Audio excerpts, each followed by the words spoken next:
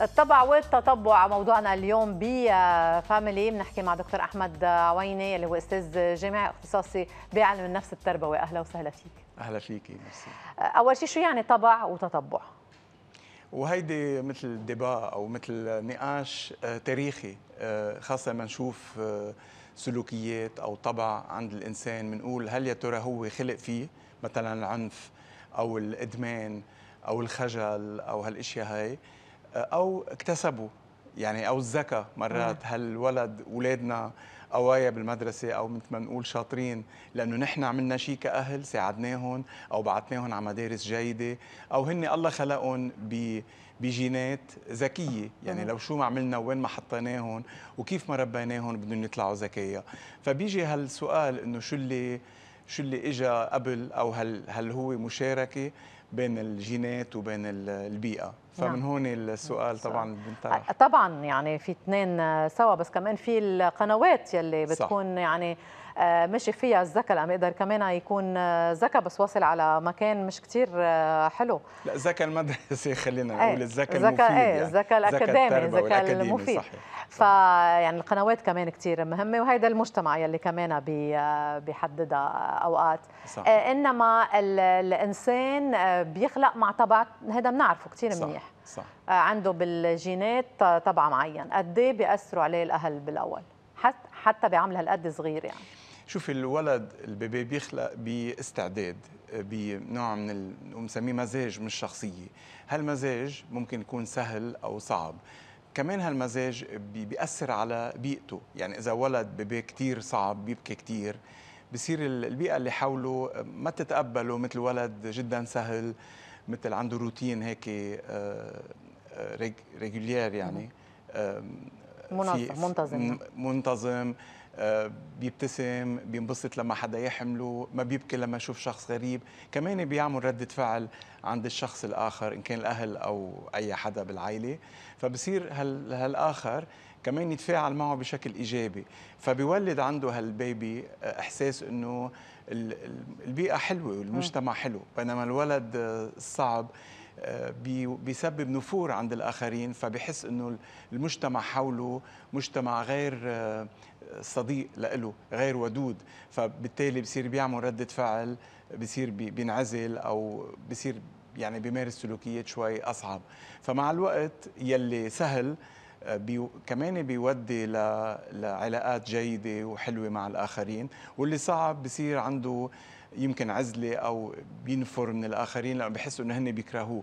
فبتلاحظي كيف كمان الولد بيخلق باستعداد وبيولد نوع من ردة الفعل عند الآخرين وبيعمل خيارات على هالأساس. يعني الولد المحبوب بصير آه، بيعمل نشاطات آه، اجتماعية بصير بيربي أصحاب بصير بي آه، بيحكي مع الآخرين بسهولة.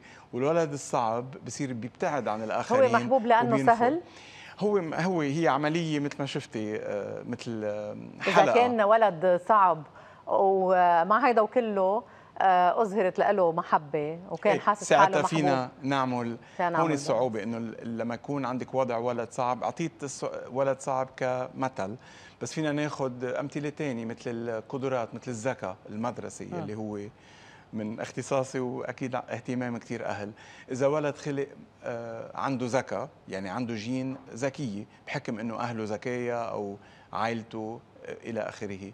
فهو كمان رح يعمل آه، هو مبرمج إنه يعمل ردة فعل ذكية. يعني عنده اهتمامات بتكون وإحساس مرهف غير رفقاته.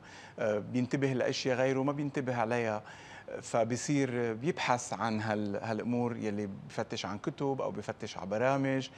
وكمان بيعمل ردة فعل عند الآخرين عند معلمينه معلماته بالمدرسة عند أهله بصيروا بيهتموا بيرعوه أو قرايبه أو جيرانه إذا الأهل مش واعيين. فالطبع خلق الظروف اللي ف... بتأثر على التطبع. فهو بيعمل هالردة الفعل. يعني بولدوناج كل شيء. صح. وخلينا ناخذ مثل ثاني آه، آه، بال يعني اكستريم يلي هو ولد خلق بجينات منا كثير آه، ذكية خلينا نقول. ما عنده هالذكاء ما مبرمج الذكاء عنده. هل يا ترى البيئة نعم. فيها تعود؟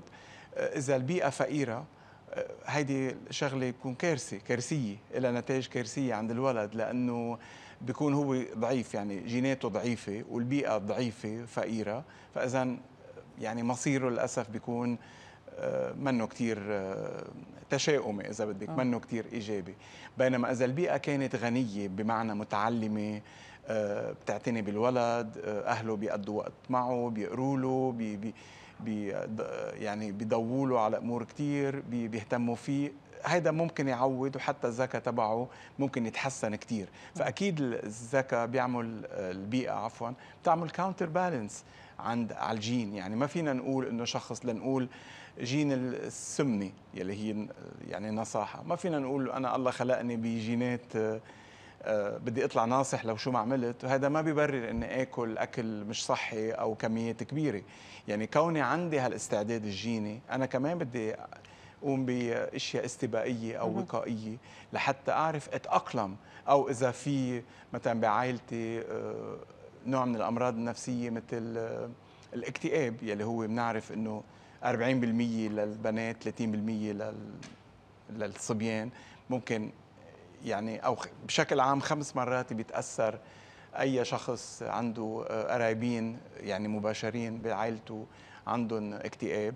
ممكن هو معرض أكثر من غيره. فما يعني إنه هو بده يستسلم وبده يقول نعم. أنا بدي اكتئب لأنه آه، في بعائلتنا جين الاكتئاب. لا بدي أنا أعمل أمور لأنه الاكتئاب جزء منه هو طريقة تفكير مش بس آه، نقص أو تفاعل آه، آه، biochimique خلينا نقول بدماغه. لا لازم هو يعرف إنه في طريقة تفكير.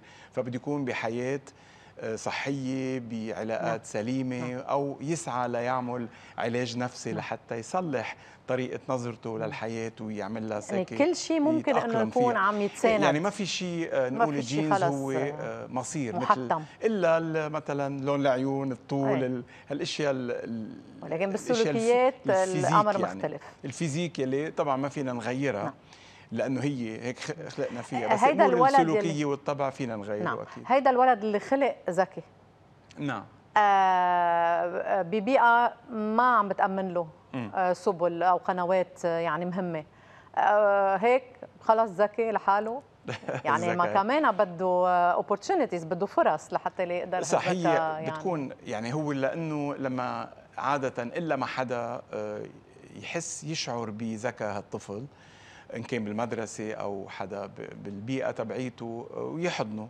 طبعا نحن بدنا نلعب دور إنه نخلق فرص بالبيئة يحضنوا أولاد يفتشوا على الأولاد المميزين يلي رح يكونوا ببيئة فقيرة أو يمكن بمدارس رسمية أو ما عندهم الفرص اللي عندهم إياها غير أولاد.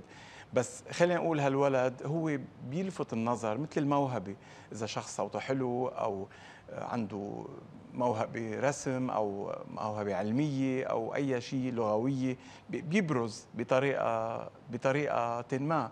هلأ قديش بيقدر يوصل؟ هذا بيرجع للبيئه اللي نحن بنوفرها مشان كثير مهم وزارة التربية إنه ترعى الأطفال يلي مش من بيئة متوسطة أو غنية يروحوا للأطفال يلي ببيئة معدومة لأنه هول الأطفال يلي بيوعدوا يعني اللي عندهم قدرات وطاقات وللاسف ما ما انعطوا الفرصة. بس هيك هالنوع من الأولاد بيلفتوا النظر لحالهم لأنه هن مميزين. فإذا حظهم حلو بالحياة بي بيلاقوا حدا يرعاهم وبيلاقوا برامج ممولة من الوزارات المتعددة. بنضل بحاجة يعني يقدروا يعني لل... أو يطلع لهم منح أو يطلع لهم يعني أي حدا يقدر يساعدهم لأنه هيدي بنضل بحاجة للبيئة تكون ما عم ما تستوعب هال ما ربيناها ما ما حميناها ما رعيناها رح مش رح أقول رح تختفي بس ما رح تتطور ما رح تنمى يعني. البنات والصبيان بيتأثروا بالإشياء بطريقة مختلفة كنا شوي عم نحكي قبل الهواء مثل العنف صح. مثلا يلي بيأثر فاذا على الصبيان آه، يعني بحمسهم يمكن ما يحمس البنات؟ هذه بالإجمال طبعا عم نحكي. آه بكل شيء هيك يعني كمان أنواع الذكاء بتختلف عند الإنسان صبي ولا بنت؟ يعني مش هون الموضوع لكن تختلف أنواع الذكاء كمان وكيف بده الواحد آه، كأهل أو كمربين يستوعبوا هالنوع من الذكاء ويقدروا يكونوا عم بيحسنوا؟ هلا الأبحاث الغربية خاصة ما فرجت فرق بين ذكاء البنات والصبيان يعني تقريبا مثل بعض إلا بأمور هيك تفاصيل الاهتمامات بسيطة. مختلفة هي. آه، ويمكن بمراحل معينة مثلا عند الصبيان الذكاء اللغوي بيتطور ببطء أكثر من عند البنات. بعدين بيرجعوا بيلحقوا بعض. يعني هو يمكن التكوين الجيني أو هيك دماغهم نعم. للصبيان. البنات عندهم ايدج أكبر شوي لما يكونوا صغار خاصة بالابتدائي. شوي بيكونوا متطورين لغويا أكثر بعدين بيعودوا. البنات يمكن شوي أضعف بالأمور البصرية الفضائية بأمور معينة حسية هيك. ويمكن هيدا يتحسن ويمكن ما يتحسن حسب البيئة. هون البيئة يلي كيف تطلع على البنت وما كثير عندها هيك خلينا نقول توقعات إنه البنت م. تطلع قوية بالأمور الهندسية أو بالسواقة أو بالرياضات اللي بدها دقة بصرية، كمان هون بيلعب دور المجتمع، بينما إذا المجتمع وخاصة المجتمع المدرسي بحسس البنت إنه بجيومتري وبالرياضيات فيها تعطي مثلها مثل الصبي، كمان ممكن البنت تتشجع أكثر و إذا نظرة المجتمع عندها تأثير كثير كبير على إيه لأنه بصير الواحد عنده إحساس إذا المجتمع ما بيتوقع مني هالشيء لشو بدي أعذب حالي؟ مثل ما مع الوقت الصبيان إذا المجتمع ما بيتوقع منهم يكونوا كثير ضالعين بالأمور اللغوية ما رح يهتموا فيها بيروحوا أكثر للمواد العلمية أو الأشياء الغير لغوية. مشان هيك بنلاقي مرات تفاوت لغوي بين الجنسين يعني. بس بالنسبة للعنف يلي ذكرتي له هو موضوع كثير مهم نحن بنقول إنه آه، لما يتعرض الولد للعنف أو أي شخص طبعا بده يتأثر وبصير بقلبه. هذا شيء صحيح. والبنات والصبيان بيتأثروا. اثنيناتهم بالعنف بس مش بنفس المقدار لأنه في هون بنجي للاستعداد الجيني. مثلا الصبي لما يشوف مشاهد عنفية آه، يعني نعم. بي يمكن نعم. بهرمونات وبالتستوستيرون تبعوله بحب يقلدها بحب رح ناخذ وقفة ونرجع نتابع. okay.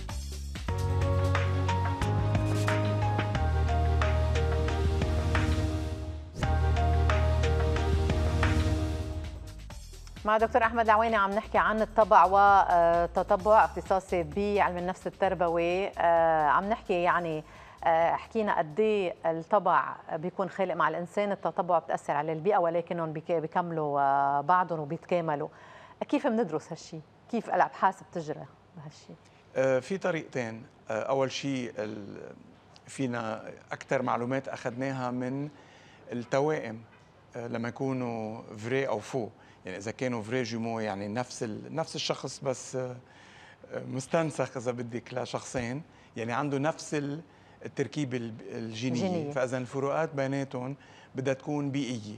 وبنعرف من دراسات في كثير دراسات صارت على القليلة بأمريكا بعرفها. آه، في توائم آه، يعني فريجمو انفصلوا على الولادة وكل واحد ربي بمنطقة مختلفة ولما رجعوا التقوا بعد سنين شي 30 سنة شافوا إنه تقريبا 62% كانوا متشابهين مم. بالذكاء بالشخصية بالرغم بالسلوك. من إنه بيئتهم مختلفة كليا فاذا دليل إنه هن جي جيناتهم أثروا على البيئة ويلي ربيوا مع بعض تقريبا 86% متشابهين بقدراتهم وبسلوكهم وبشخصيتهم هلا ثاني طريقة هي بندرس المجتمع. يعني مجتمعات مش أفراد. صعب كثير تعرفي إنه إذا أخذتي شخص تقولي آه، بشكل عام هو 70% آخذ شخصيته من بيو أو 30% آخذ آه، شيء معين من أمه أو مستحيل. بدك تدرسي آه، مجموعات وتشوفي الفرق بدك تقولي التفسير لنقول في عمليات حسابية إحصائية بيعملوها.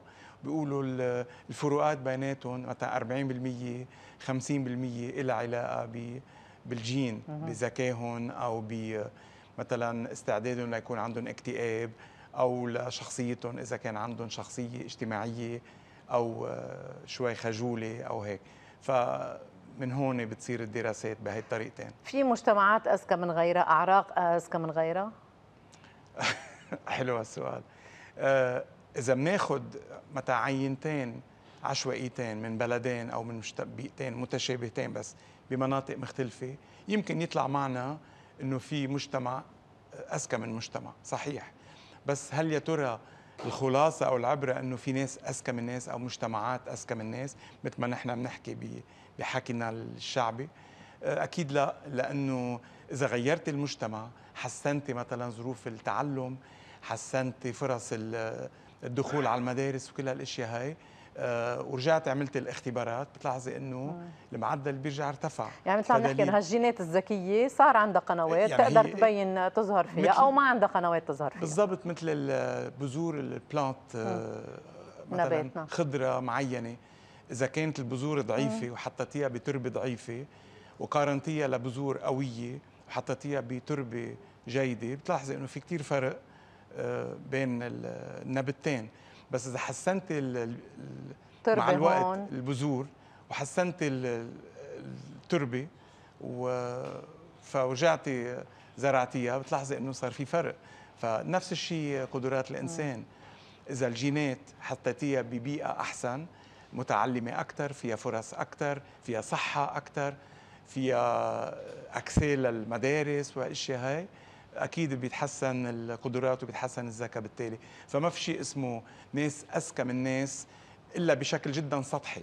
بس إذا بتتعمقي بتقولي لا أكيد إذا غيرنا البيئة حسناها بدها تتغير غير إنه أنواع الذكاء بتختلف آه، كمان. يعني أنواع شيء هيك مجتمعيا معتبر آه، ذكاء وشيء ثاني يمكن أهم آه، كمان ولا يعتبر يعني ما بيتركز عليه. فعلا وما بيعتبر إنه هيدا هو صحيح إذا بناخذ الذكاء المدرسي المعروف إيه. يلي هو الذكاء اللغوي والتحليل المنطقي والذاكرة والأشياء هاي اللي اللي على أساسهم يقيم الإنسان يعني. الولد الطالب يقدر ينجح بالمدرسة إذا بناخذ بس هالنواحي ما عم نحكي عن النواحي الاجتماعية أو الذكاء المتعدد أو الأشياء هاي آه، أكيد هذا بيتحسن إذا حسنا البيئة عملناها بيئة يعني فيها اهتمام أكثر من قبل الأهل فيها مدارس آه، عندها منهاج بيطور قدرات الطالب فيها فرص للتعلم التعليم العالي إلى آخره. كل الاشياء هاي بتأثر على المدى البعيد بالمجموعات بتأثر على اليوم لأنه بنركز على الذكاء العاطفي الذكاء المجتمعي. يمكن ال ال يعني النتائج الأكاديمية تكون كثير عالية وما يقدر ينجح بقلب المجتمع الذكاء العاطفي ينمى يطور. يمكن أكثر من الذكاء المدرسي. آه، في مجال الواحد يطوره علما إنه جزء منه بيخلق فيه الإنسان. بس إنه هذا كمان إذا حطينا طرق إذا وعينا الأهل حطيناه جزء بالاستراتيجيات التعليم آه، ركزنا على التفكير العاطفي الذكاء العاطفي آه، مفردات العاطفية طريقة كيف نتعامل مع الصعوبات مع المشاكل مع ستريس آه، محل النزاعات بشكل سلمي نسعى لنكون ناس سعيدين بحياتنا. هيدا كله فينا إذا ما عندنا إياه بالفطرة فينا نحسنه فينا نعلمه. يعلم يعني بس لازم نعطيه حقه ولازم نهتم فيه أكثر دكتور أحمد العويني أهلا وسهلا فيك. اختصاصي بعلم النفس التربوي شكرا لك وللمعلومات. سواء في هلا أو بنرجع بنتابع لايف